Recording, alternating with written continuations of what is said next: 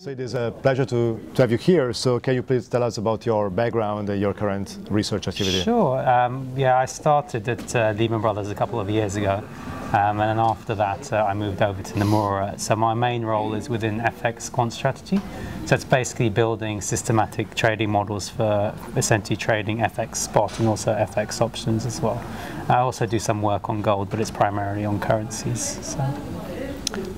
So my understanding is that you're mainly doing systematic trading on FX and Yeah. sometimes on gold. So what do you think are the main uh, themes driving the systematic trading activity in those markets? Sure. Well, I guess um, at the moment, one of the big themes has been uh, essentially looking at trends.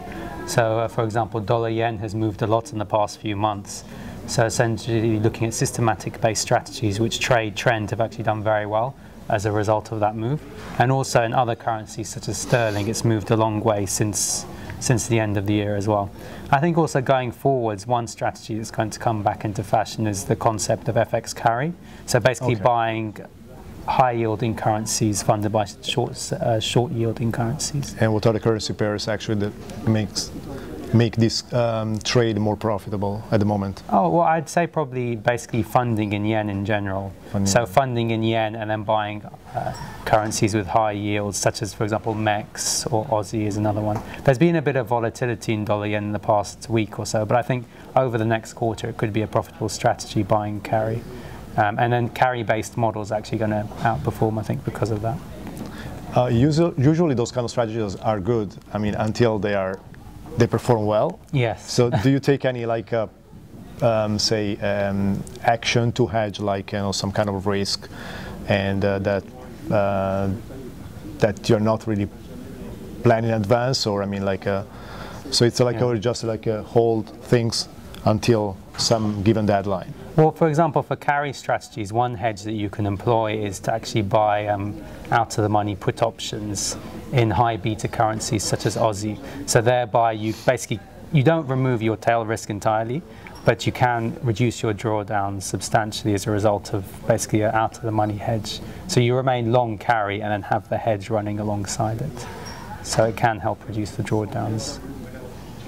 That's interesting. And regarding uh, hedging strategies, I mean, uh, do you take positions that need to be hedged a lot, or do you mostly like you know uh, have a view and stick to the view and Well, I guess in terms of a systematic trading uh, strategy, one instance where you might want to put on a discretionary hedge is, for example, over a big data event. For example, recently you had uh like a massive meeting about Bank of the Japan, um, and that was obviously a big event risk. So you could say, I will just let my model trade as it would over the event.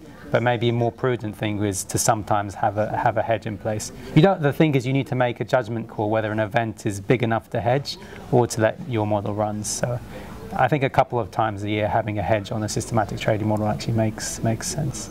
But that becomes more a judgment call as some, some as opposed to something systematic. So Absolutely. Like everything, I guess. so you're using derivatives mostly for hedging purposes, not for investment. I'd say most people use, at least say, for example, corporates and the like, they use them more for hedging. I guess with, for example, hedge funds, in lots of the cases, they'll actually have option strategies. So they might take a punt on a specific, uh, specific moves in currencies based upon, uh, based upon FX options, um, as opposed to the underlying, because they can have uh, a bottom risk. Uh, but also you might have systematic trading strategies as well. So typically systematic trading strategies involving FX options will mostly be short, uh, basically selling options. But there you, you kind of open yourself up to, to tail risks if you run that strategy. I see. So uh, my understanding is that, as you said before, you mostly focus on FX and also a bit of gold.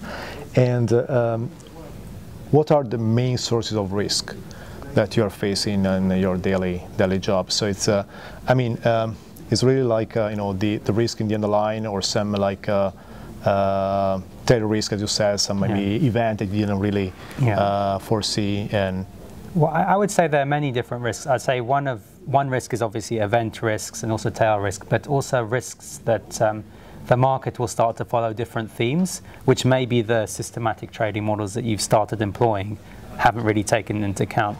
So looking back over the past few years, for example, looking at risks in the European periphery, I think before say 2000 and 10, basically nobody looked at that type of uh, price action. But now, if you're looking at models, then maybe you might consider that this is an important thing to trade off in the future as a as a signal. So yes, uh, I understand. And um, maybe one last question because uh, you're pretty fast, yeah. but it's like you're answering well to many things. So, um, so. Um, my understanding is that okay, you are, you are combining the underlying with options on the underlying, yeah. and uh, um, this may create some challenges from the modeling point of view because yeah. you may mix like you know the so-called p measures, q measures, yeah. whatever. And uh, uh, is there like a, a, standard way to deal with you know uh, say market price of risk, or I mean like uh, you know people actually take advantage of their own models to make money and be you know uh, more competitive? Well, I, I guess there are I guess one issue is basically in terms of when you're creating your models, in terms of having in-sample bias. So like I can run a trading model over the past 10 years of data and then basically highly fit it and then say, look, my model is great. Maybe we should actually put real money on it and encourage clients to, to do that. So I think the main, the main risks are actually that you have too much faith in your in your model, basically. Right. So I think whenever you construct a systematic trading model, you need to be uh, thinking about what types of things can go wrong, and also when you're fitting the parameters. There's one thing fitting them slightly, and there's another thing that you have totally different parameters for each currency pair, just so that you have a like a historical straight line, basically, in terms of your, your trading returns. So I would say the the main thing is you obviously want to make money out of your model, but you don't want to kid yourself that your historical returns, which you've overfitted, will actually be something right. that you get in the future. Like I think if you kind of underfit a model historically, maybe your historical returns won't, won't look so good, but I think you'll make more money out of your model going forwards because the returns will be more stable uh, from that perspective. So that's good. Yeah. Do you want to add anything else? Well, it's been it's been a pleasure to talk to you, and thanks for your questions. Likewise. Thank you. All right. Thanks very much.